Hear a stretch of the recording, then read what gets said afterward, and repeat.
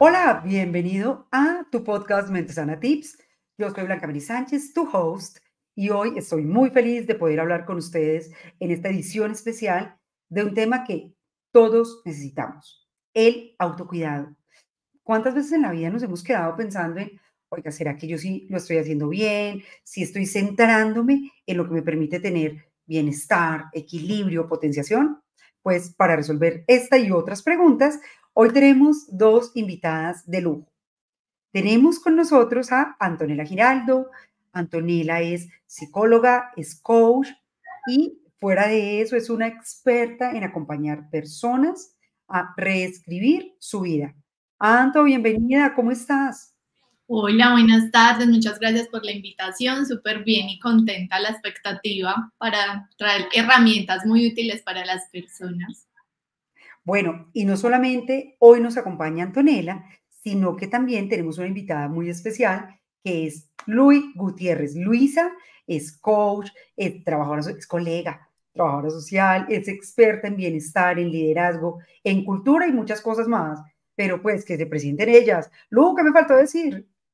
Hola Blanca Mary, hola Antonella, muchas gracias por la invitación. La verdad es que estoy súper honrada y muy feliz de estar en tu podcast Mentesana Tips, que además es uno de mis favoritos, entonces estoy muy contenta de estar acá. Bueno, ¿qué te faltó decir? Nada, me dedico a acompañar empresas, a desarrollar equipos, a que potencien todas esas habilidades que ahora las llamamos las Power Skills, porque es que son las más importantes para poder triunfar en este mundo laboral.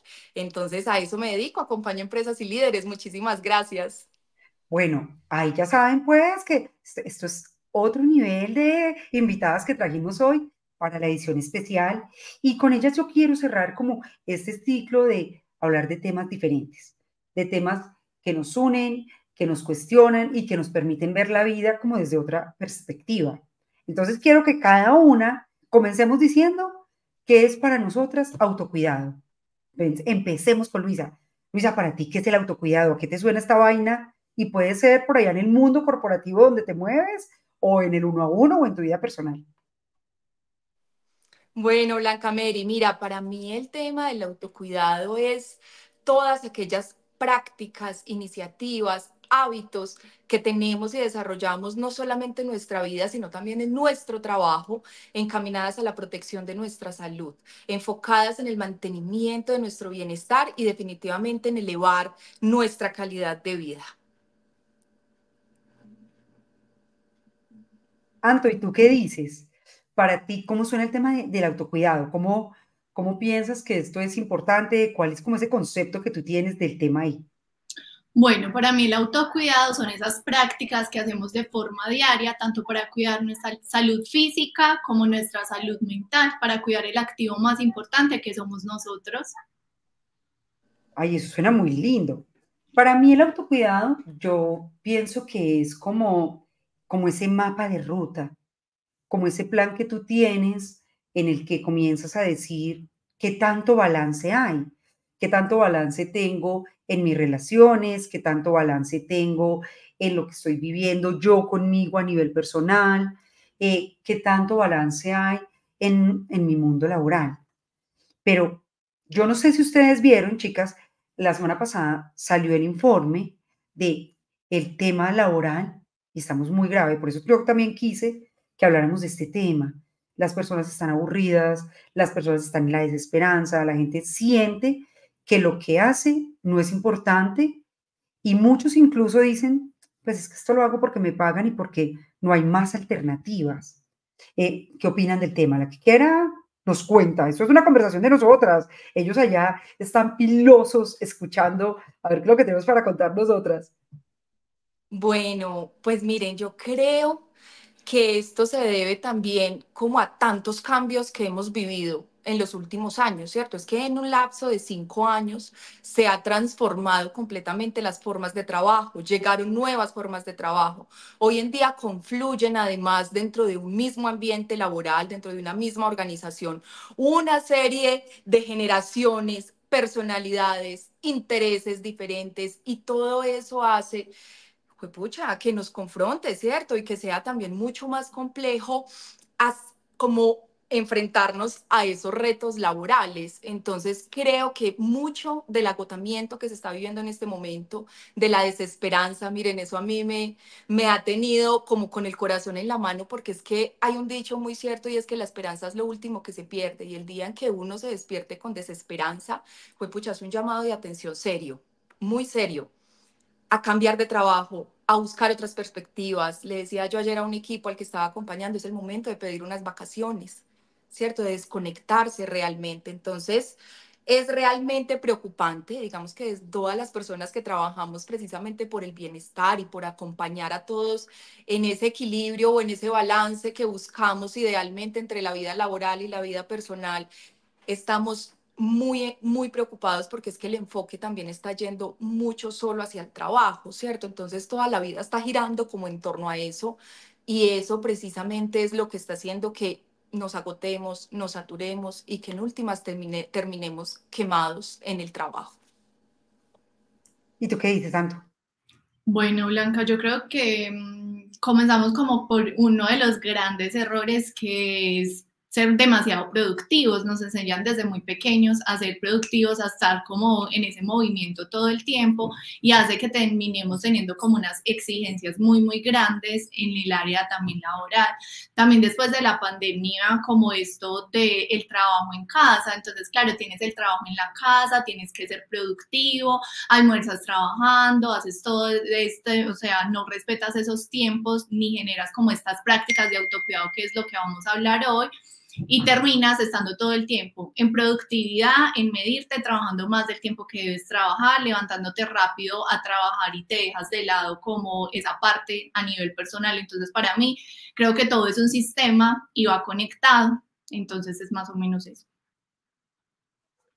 Hay una, un, ítem que se correlaciona con esto y es el FOMO. ¿Lo han escuchado?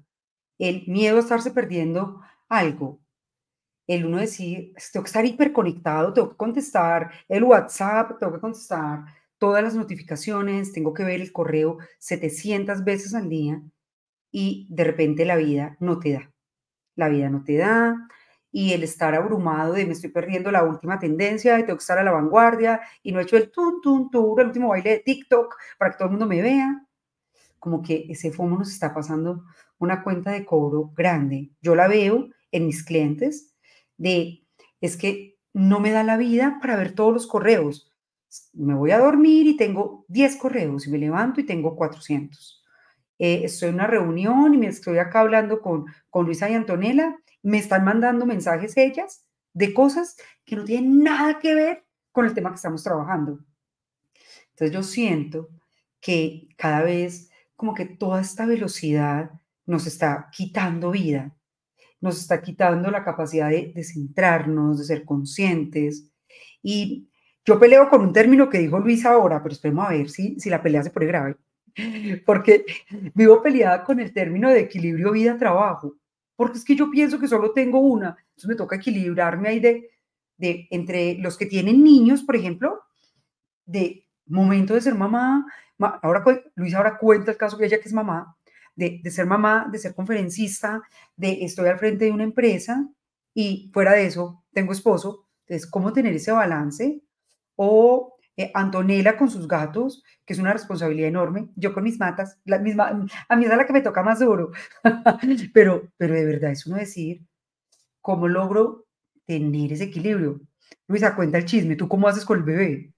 No, la verdad es que es una locura. Y yo digamos que soy partidaria de no utilizar el término equilibrio porque es que realmente a eso es imposible llegar. Nada más pensemos la cantidad de horas, las personas, por ejemplo, que deben ir a un lugar de trabajo y que además de eso hay un tiempo de ocho horas que hay que cumplir dentro de esa jornada, ¿cierto? Entonces son las horas de desplazamiento, más las ocho horas laborales, más las otras horas que me demoren llegar a mi casa. Entonces, equilibrio y balance no va a haber. A mí, como me gusta llamarlo, es el flujo. flujo, vida laboral, vida personal, porque es que eso es lo que hacemos, fluir entre unos y otros. Hay días que mi agenda yo la puedo cumplir a cabalidad. Yo tengo cinco horas realmente productivas en mi día y son las horas en que mi bebé está en el jardín. El resto del tiempo yo lo tengo destinado para compartir con él, para estar con él, para salir a comer el helado, para compartir con el esposo, para visitar a la mamá para además de todo atender otros pequeños asuntos en espacios que pueda. Hay días que lo puedo cumplir, hay días donde Simón amaneció enfermo y la prioridad es atender a mi bebé. Entonces, yo pienso que también es, primero, ser organizado, ¿cierto? Se requiere una disciplina importante. Y segundo, es también saber eh, y no juzgarse ni sentirse culpable en aquellos días donde definitivamente la agenda no se puede cumplir. Y es que todo tiene límites, ¿cierto? Y yo creería que esa es la primera herramienta que yo quiero entregar para el tema del autocuidado aplicado al mundo del trabajo. Y es que sepamos poner límites. Tenemos que saber que después del trabajo el tiempo es o para nosotros o para la familia o para los amigos pero no más para el trabajo, ya estuvimos ahí. Y si nosotros estamos ahí en presencia y en conciencia plena de lo que estamos haciendo, pues vamos a ser colaboradores altamente productivos, ¿cierto? Si somos responsables y muy juiciosos, pues no vamos a estar durante esas horas de trabajo, digamos que desperdiciando tiempo, sino entregando lo mejor que nosotros tenemos. Y el resto del tiempo saber poner esos límites, yo creería que es lo principal en el autocuidado para el trabajo, ¿cierto? Como tener los límites claros, tener jornadas de desconexión, permitirnos también esos espacios y esos momentos de descanso para poder retomar, porque si no es muy difícil. La verdad es que balance y equilibrio, no, hablemos de flujo. Me suena muy, muy bien, me, gusta. Anto, ¿tú qué piensas eh, con el tema de estoy fluyendo, estoy conectada, eh, en qué momento de la vida me siento y lo otro que ves tú desde una visión más de, terapeuta, que tú tienes una mezcla muy interesante porque eres psicóloga y coach. Las personas que te están llegando, ¿qué ves frente al tema autocuidado? Blanqui, mira, el tema de autocuidado está muy estigmatizado. Lo que pasa es que a nosotros nos enseñaron producir, producir y estar en movimiento. Y yo creo que la productividad y el tiempo de ocio tienen que ser directamente proporcionales, porque en ese tiempo de ocio es donde recargamos, donde tenemos ideas, equilibramos el sistema nervioso, que es muy importante. Ahora veo muchísimo en mis pacientes que todo el tiempo están tan acelerados en cumplir objetivos que olvidan esa conexión y terminan desarrollando una ansiedad, una depresión, se terminan autosaboteando demasiado. Entonces, para mí, la productividad debe ser vista desde las áreas de nuestra vida, desde cada una de esas áreas, como esas áreas tienen que estar en equilibrio para que yo me sienta bien, porque si yo estoy bien, todo afuera va a estar bien, porque yo me voy a encargar de eso, pero si no lo hago, todo se va a perder y va a perder como ese horizonte. Entonces veo demasiado esto y es un tema, lo que dice Luisa, de los límites. Los límites son súper importantes, pero primero yo mismo ponerme los límites, porque tú no vas a saber poner un límite afuera si primero no te estás poniendo ese límite, si primero no te estás diciendo que sí y que no.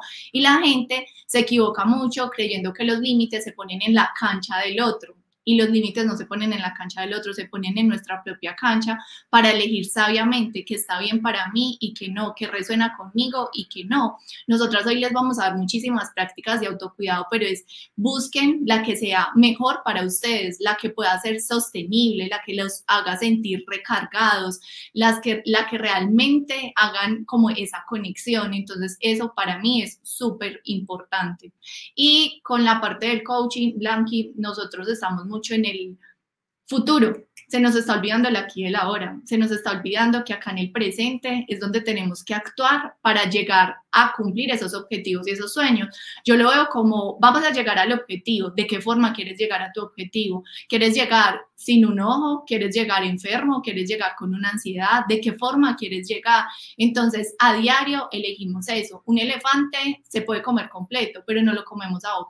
Entonces, ¿cuál va a ser ese pequeño bocadito que te vas a comer hoy que va a ayudar a que llegues a ese objetivo que tú quieres, pero desde tu propio bienestar? Porque no podemos tener todo perfecto afuera y adentro de la casita destrozada. Y miren que este es mi caso. Story time. ¿Cómo les parece que a mí me pasó? Las cosas comenzaron a crecer, me empezó a ir súper bien, estaba montada en un avión tres semanas al mes, eh, las finanzas son sonando, pero llegué a un punto en que estaba rendida, que me ponía la cabeza en la almohada y ni siquiera me podía dormir de lo cansada que estaba, que tenía una niebla mental la tremenda y no me podía enfocar porque tenía abiertos tantos, digamos, tantos proyectos, tenía tantas tareas que la vida no me daba. Y yo sé que muchos de los altos ejecutivos que nos escuchan en este podcast allá deben estar diciendo, por dos, ¿de qué? De que nos identificamos con estas situaciones y nos falta cuidarnos. Y yo no sé, hay Lu qué piensa, pero por muchas veces esperamos de, no, es que el proyecto de felicidad de la empresa, el plan de bienestar, y estoy completamente de acuerdo con Anto. Tengo que partir de mí, de yo qué estoy haciendo para cuidarme, para sentirme bien, cuál es como ese plan de, bueno, yo siempre digo de trabajo interno, que son mis mínimos, que hasta que no les di la vuelta y los incorporé en mi vida todos los días de la vida, sea Navidad, sea viernes, sea julio, sea el momento que sea, como que yo no me pude restaurar. Pero, ¿por dónde arrancar? ¿Tú qué dices, Santo? Paso número cero. ¿Qué hacemos? Bueno, para mí el paso número cero sería elegir algo que te guste, alguna actividad. Puede ser mover el cuerpo, puede ser meditación, algo que tú elijas que te haga sentir como expansivo. Yo lo veo de esta forma, Blanca. Yo creo que nuestro cuerpo es un carrito y el carrito para iniciar por la mañana y meterlo a la autopista necesita calentarse, necesita ese trabajo. Entonces, para mí, la primera práctica como de autocuidado sería algo que vaya enfocado a uno leer, meditar, algo que me haga conectarme conmigo y con esas metas. En ese instante puedo escribir tres metas que voy a alcanzar durante el día como para tener como mayor tranquilidad y mayor claridad. Entonces, para mí, lo primero sería el ser desde nuestro interior. Bueno, ¿y tú cuál haces? ¿Cuál es tu, tu punto cero para iniciar el día? Y ahora Lu también cuenta, y yo les cuento. yo lo primero que hago por la mañana es tomarme un vasito de agua, y meditar. Para mí es un innegociable iniciar el día meditando. Ya después de ahí, ya como que el carrito está calientito para poderlo meter en la autopista y de hecho vamos viendo la diferencia. Mira que desde que yo hago como una rutina en la mañana de esas prácticas de autocuidado, en la noche al terminar el día, uno termina como menos agotado, menos cansado y abrumado, porque es que imagínense, yo lo veo de esa forma. Tengo este vasito lleno de agua puedo tomar, le puedo dar agua a las personas que amo, pero imagínense que este vasito está vacío porque hoy no lo llené, hoy no me encargué de mí, hoy no me encargué de mi ser. Entonces viene Blanca y me pide agüita, se la doy, viene Luisa, me pide agüita, se la doy, y cuando yo voy a tomar no tengo agua. Yo lo veo de esa forma. Muy lindo, me encanta. Lu, tú, punto cero y cuentas el tuyo. Bueno, muy bien. Yo creo que súper importante dos cosas. Primero, ser muy conscientes con qué estamos alimentando nuestro cuerpo, como para seguir con la analogía que hace Antonella, es qué tipo de gasolina le estamos poniendo a ese carrito y qué sería nuestra alimentación, ¿cierto? Y actividad física. Necesitamos algo que nos eleve la energía. Yo, por ejemplo, pues a mí me gusta el yoga, entonces yo hago mis estiramientos, no puedo decir que soy una yogi pues consagrada, pero sí me gusta hacer mis estiramientos, me encanta poder iniciar la mañana con una rutina cortica, además que la gente cree y está en el imaginario colectivo que necesitamos una cantidad de horas y de tiempo y de recursos y de dinero y de vestuario y de elementos y herramientas para hacer algo. No, yo pongo mi celular, pongo un video de YouTube y a lo sumo tengo un mat donde puedo hacer la actividad física, pero muchas veces hasta en pijama. Entonces, creo también eh, que lo primero es eso, hacer actividad física y concentrarnos mucho y analizar muy bien cómo nos estamos alimentando. Bueno, les voy a contar el mío. Mi punto cero es, acabo de despertar y no he abierto los ojos. Estoy en la cama todavía. Yo lo que hago es ampliar las ondas alfa. ¿Por qué? Porque cuando estoy consciente de que inicio el nuevo día, pero todavía no abro los ojos y no me activo, las ondas alfa que son las ondas más profundas por medio de las cuales accedemos al inconsciente, están a tope. Si uno todavía no ha abierto los ojos, uno le puede decir al cerebro, cerebro, todavía estoy dormida, tranquilo. Y lo que yo hago es, uno, visualizar mi día, dos, conectarme con, con las cosas bonitas, con lo bonito que quiero vivir, y tres, una intención. Entonces, hoy es mi día de la gratitud, hoy voy a ser más compasiva, hoy, me, hoy es mi día de consentirme, hoy no cuente conmigo, me voy a consentir mucho, hoy es mi día de, de ver las oportunidades, hoy quiero como reprogramar las cosas que ayer no hice tan bien. Y ahí yo me, doy cuenta que estoy despierta, me quedo quietecita, me pongo las manos en el pecho y hago mi visualización de lo que quiero ver ese día y le pongo una, una intención. Entonces, esa es como mi práctica cero. Pero, señoras y señores de la audiencia, esto se pone grave. Y aquí vamos a entrar en una sesión que a mí me gusta mucho, que se llama ¿Qué hacer cuando?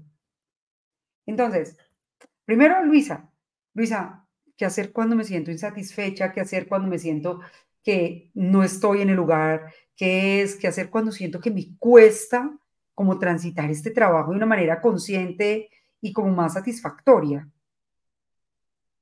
Bueno, yo creería que lo primero es ser muy consciente del aporte real que yo tengo. Yo siento que mucha, en gran parte la insatisfacción con el trabajo es que no hemos aprendido a reconocer el aporte y el valor de lo que cada uno hace en el trabajo. Entonces nos quedamos muy en lo superficial. Por ejemplo, yo, yo hago talleres ¿cierto? Entonces, si yo me quedo en eso como que, ah, yo hago talleres, no, yo debo ir más allá. Yo realmente, ¿qué hago? Transformo organizaciones para que sus personas trabajen mucho más felices y tengan sus habilidades más desarrolladas. Entonces, conectar con el propósito es lo que llamamos el propósito, encontrar de nuestra profesión, de nuestro trabajo, de nuestro quehacer, una misión, cómo convertir eso tan puntual que hacemos cada día en una misión donde cada uno venga a dar a este mundo lo mejor que tiene para convertirlo en un mundo mejor. Entonces yo creo que eso es fundamental para poder salir de ese sentimiento y esas sensaciones que yo estoy estancado, estoy insatisfecho, lo que yo hago no no es relevante, no aporta, ¿cierto? Entonces, ir más allá, dar ese paso, encuentra tu misión y conecta con ese propósito. Finalmente va a ser esa motivación diaria cuando uno abra los ojos y diga, qué rico que voy a trabajar en esto y no, yo no quiero ir por allá, que es muy diferente. Antonella, ¿qué hacer cuando? ¿Qué hacer cuando estoy estresado, rendido, cansado, eh, que la vida me pesa? ¿Qué hacemos? Blanca, las personas creen que tienen que hacer una cantidad de cosas muy grandes o hacer algo que sea mágico, que sea como grandísimo. Primero, si quiero hacerles como mucha conciencia en si sienten que ya no pueden más porque no queremos llegar como a extremos de como un agotamiento, como te pasó, ir a terapia. O sea, es súper importante encontrar ese espacio privado, ese espacio de sostenimiento, ese espacio seguro. Y lo otro es el objetivo, cuál es el objetivo, qué es lo que yo quiero y hacer un pequeñito paso para llegar a ese conectarme conmigo, para descansar, para estar más tranquila. Y es muy bueno eh, ayudar a equilibrar el sistema nervioso. Entonces, descansar, tomarse pausas durante el día, respirar, se nos olvida respirar a veces, o sea, respiramos como no debemos respirar. Eh, elegir un día de descanso, pero un día de descanso real, lejos de las redes sociales, del celular, de cosas del trabajo, porque entonces todo el tiempo tenemos la mente en ansiedad, rumiando ahí como esto, lo otro, lo demás allá. No, es como listo, no te preocupes, señora mente, vamos a anotar lo que tenemos pendiente, pero hoy vamos a descansar, voy a dormir, voy a comer algo rico, voy a salir a caminar y a conectar con la naturaleza, conectar con la naturaleza recarga demasiado, caminar sobre el pasto, esto es también muy recarga, o sea, nos ayuda a recargar demasiado, comer saludable, ver series, algo que los recargue. Yo creo que nosotros deberíamos tener una práctica al menos que digamos, la hago esto y me siento como si hubiera descansado dos días o medio día. Por ejemplo, algo que yo hago es ir a cine.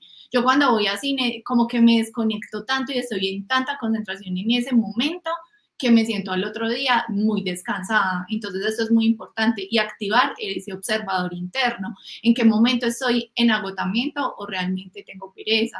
¿En qué momento estoy teniendo ansiedad? ¿Qué me está diciendo mi cuerpo? ¿Ese dolor de cabeza es en serio algo físico o es que estoy agotada y no estoy durmiendo bien?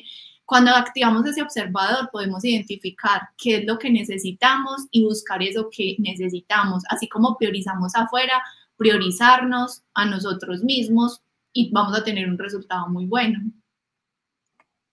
Bueno, aquí nuestros queridos oyentes, oigan, ustedes saben que pueden mandar mensajes y preguntas. Los que no saben, pues ya les contamos. Nos mandaron preguntas. Las pueden mandar por Instagram, las pueden dejar en Spotify, en YouTube, en todos lados yo los leo. Entonces yo les pedí que me mandaran preguntas sobre el tema de autocuidado. Entonces, señoras doctorísimas, ténganse duro, que esto se puso muy exigente. Uh, ya pues, preguntan, la que quiera contestar o si las dos quieren contestar, contestamos todas. Listo. Hay una chica súper poderosa que nos manda un mensaje de no tengo tiempo para hacer la meditación, el yoga, pararme en la cabeza, salir al pasto. Eh, la vida no me da. ¿Qué hay que puedo hacer en dos minutos? Propongan, señoritas. Bueno, para hacer en dos minutos tienes la vida entera. Dos minutos es fantástico. Técnicas de respiración consciente. Es lo más sencillo de hacer, lo puedes hacer en cualquier parte, mientras vas en el bus, mientras esperas una reunión, mientras estás en una videollamada, en plena reunión de trabajo, en una conversación con otra persona. No necesitamos tanto tiempo para sencillamente aquietarnos un poquito y hacer un par de respiraciones conscientes. Otra cosa es que lo decía ahorita, es que existe el imaginario colectivo que necesitamos una cantidad de tiempo exorbitante para poder tener prácticas de bienestar. Miren, el tiempo que yo tengo es de 30 minutos y en esos 30 minutos tengo que hacer 15 minutos de yoga, 5 minuticos de meditación y 10 minuticos de escritura, porque es lo que me permite a mí también desahogarme y liberar tantos pensamientos y tantos pendientes, ¿cierto? Entonces, no necesitamos una cantidad de tiempo, necesitamos voluntad y compromiso. Oigan, si ven, Luisa es la brava, nosotras somos las buena gente. Anto, ¿qué hacemos? Bueno, primero, algo. El tiempo no llega, el tiempo se crea. Para mí no hay excusa. El tiempo lo creamos nosotros con organizarnos, con estructurarnos. O sea, dos minutos como tú me dices algún día, si no tienes dos minutos para ti, revísate porque ahí hay algo grave. Es, eso es ahí preocupante. Bueno, si tienes dos minutos, puedes ayudar a regular tu sistema nervioso. Entonces te puedes acostar un ratico, respirar sin mirar el celular, sin absolutamente nadie te tapas los ojitos. Entonces ayuda a regular el sistema nervioso. Puedes respirar. Otra actividad que a mí me gusta mucho es en dos minutos, estando muy, muy presente, que estoy observando o sentarme en el balcón a mirar los árboles, a respirar, a estar demasiado presente y a darme cuenta qué estoy sintiendo, qué está pasando, pero sin estar como solucionando cosas, estando presente. Bueno, ellas son más juiciosas, el mío es más, más light. Yo, cuando yo escuché esa pregunta, yo pensé, ¿te parecen pocos dos minutos? Prenda la estufa y ponga la mano a ver si se aguanta dos minutos. No, ay, no, esto ni un segundo nos aguantamos. Es subjetivo. Entonces, yo le propondría que coja como estos temas que nosotros estamos, esas estrategias que les estamos dando, esas herramientas, y que las pruebe una cada día. Y la mía es, si solo hay dos minutos, pues me pongo una canción súper chévere yo bailo, bailo, canto, estimulo el nervio vago. Y, y miren que acá podemos complementar con algo. Me estoy cepillando los dientes. Cuando termines de cepillártelos, haz gárgaras 30 segundos. Tenemos que ahorrar tiempo, no hay tiempo. 30 segundos, estimulas el nervio vago, que es uno de los pares craneales que va por todo el cuerpo y te lleva a la calma, a la restauración. Entonces, listo. Uno, haz gárgaras cada que te cepilles los dientes. Si lo haces tres veces al día y al menos tienes minuto y medio de darle tono a ese nervio vago. Nos queda otro minuto. Póngase un podcast divertido o ponga una canción chévere. A mí me encantan los podcasts de humor. Si yo no fuera neurocoach, yo sería un humorista, me encanta les pongo chistes malísimos y me muero de la risa, porque eso me saca de la rumiación, me saca como de esta vida tan seria que, que de repente como que llevamos y que se nos olvida reírnos y que se nos olvida conectar con las cosas divertidas de la vida por estar en formato de ser muy serio. Entonces, esa sería mi, mi recomendación. Anto. O también eh, buscar un objetivo que sea más grandecito y hacerlo en esos dos minutos. Entonces quiero pintar un cuadro, en esos dos minutos pinto algo, o voy a pintar este osito, o le pinto las orejitas, o sea, algo que te haga mantener ahí como estando presente. Hay una técnica ahora que son como unos cuadritos donde tú les vas pegando unas piedritas pequeñitas y eso también te hace estar ahí contigo. Entonces hazlo dos minutos, dos minutos por la mañana, dos minutos por la tarde. Es como llegar a ese objetivo grande en pequeños pasos de bienestar. No, tú ya estás de, muy derrochadora, ya te gastaste cuatro minutos del día, Antonella. Pero, pero miren, cuando uno mira el domingo, que le estaría ahí, felicitaciones, solo has estado ocho horas al día en el teléfono y uno, no, pero no hay besos como esos, esos momentos tan corticos en los que miras el teléfono. ¿Qué tal si le damos la vuelta y decimos tres micro breaks de bienestar de cinco minutos? Porque el día de gastar se gasta. Entonces ya nos gastamos 15 minutos del día. Por la mañana hago un ejercicio de yoga de los que nos propuso Luisa. Eh, a mediodía hago un ejercicio de los de Antonella de arteterapia. Terminando el día hago neuróbicos o me siento y respiro. Pero yo creo que, que yo creo que es más que hacer del tema del autocuidado una moda súper instagrameable y que a veces suena muy bonito en las compañías, eh, un estilo de vida. Opinen, señoras. Eso es correcto. Lo que pasa es que nos quedamos en, el, en la superficialidad. Entonces queremos eh, tener una vida más fit, pero es en busca como de algo externo, ¿cierto? Más que alimentar nuestra salud, cuidar nuestro cuerpo internamente. Eh, todos los beneficios que tiene para la salud mental, la oxigenación del cerebro, ¿cierto? Tantas bondades que tiene la actividad física y nos quedamos solo en tener un cuerpo bonito. Entonces es ir más allá, ¿sí? Es también como si yo lo hago con un, con un propósito más allá, como dice Antonella, un objetivo más claro y que de verdad sea más relevante para mi vida, finalmente esos dos minutos, yo voy a hacer en esos dos minutos la mejor dicho, la voy a sacar del estadio. Hace días escuchaba a una persona que es mentora como en productividad y ella decía, yo solamente tenía, cuando empezó a crear su propia empresa, ella solamente tenía el tiempo que duraba el recorrido del transporte público de su casa a la universidad. Y ella en esos recorridos se iba escribiendo su plan de trabajo, a quién iba a llamar, posibles clientes, estudio de mercado, toda la lo que es hoy en día su empresa lo construyó en un bus yendo y viniendo. Y se lo decía a alguien de mi equipo de trabajo esta semana. Ella debía ir a dar un taller sobre creatividad y le envió un podcast que hizo Blanca Mary, muy genial, que me gustó mucho con Valleca. Y yo le dije, bueno, ella iba para Chinchiná a hacer una actividad. Yo le dije, mira, aprovecha el recorrido y te vas escuchando el podcast. ¿Cuántas, cuántas? cuántas horas muertas, cuánto tiempo muerto tenemos en el día trasladándonos de un lugar a otro. Ese es el momento para escucharnos un podcast que nos alimente el espíritu, para aprender sobre un tema distinto, para leernos un par de páginas de algo que nos nutra. Entonces, miren que en realidad yo siento, y sí a veces suena como que madre, es que a la gente hay que jalarle las orejas, hay que dejar las excusas y tener más voluntad y compromiso con nosotros mismos, es que esto no es para nadie.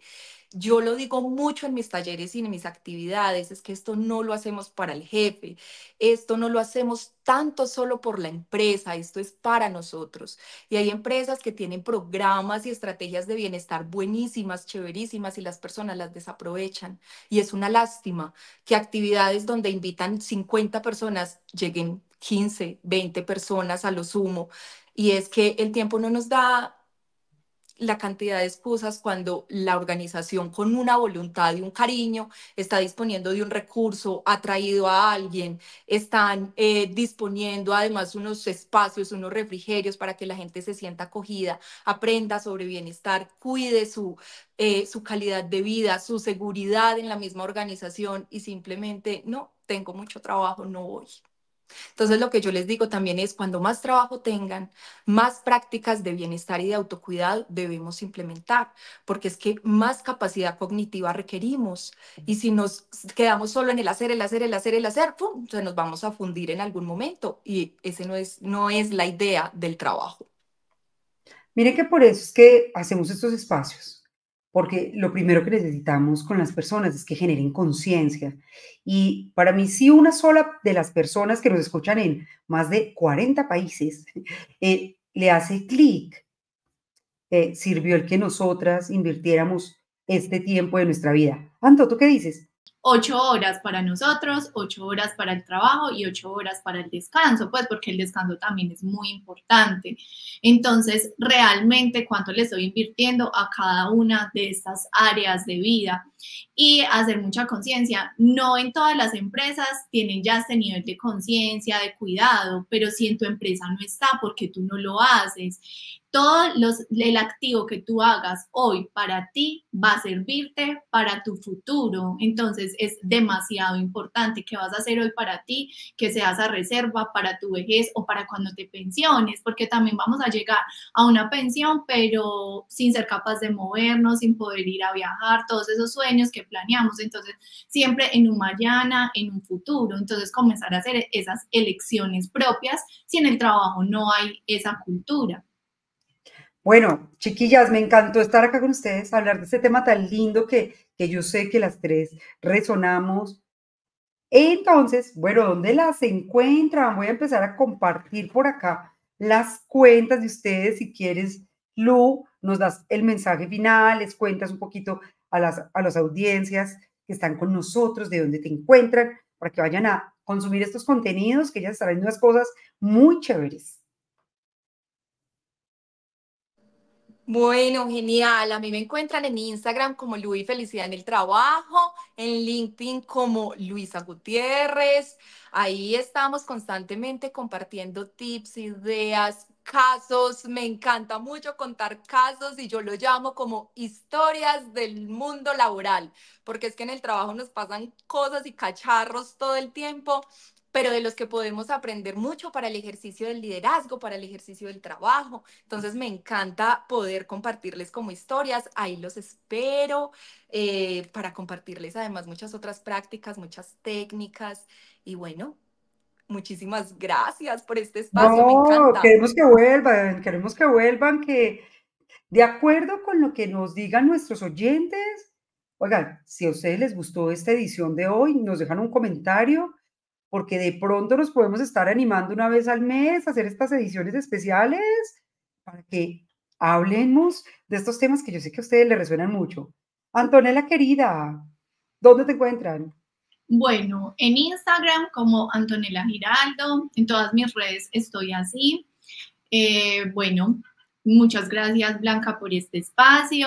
Eh, contarles que finalmente mi objetivo es ayudarle a las personas a transformar esa historia de vida, resignificando como patrones del pasado y enfocándonos mucho en ese presente para llegar a cumplir esos sueños y esos anhelos que tenemos en el corazón. Ay, qué lindo. Ya pueden ver ustedes el nivel de las invitadas. Estas chicas maravillosas las van a poder ver en video en YouTube. Si usted no se ha suscrito, vaya, suscríbase, dele like, déjenos un comentario, pues para que nos animemos a volver por acá. Y si nos están escuchando en cualquiera de las otras plataformas, en Spotify, en Apple Podcast, eh, califiquen el contenido. Siempre cuando calificamos los podcasts, esto hace que el algoritmo se lo muestre a muchas más personas y nos permite impactar mucho más. Queridas, muchas gracias, un abrazo muy grande a todos ustedes. Gracias por hacer parte de Mentesana Tips y nos encontramos en un próximo episodio. Hasta pronto, chao. Hasta la próxima, gracias, bye bye.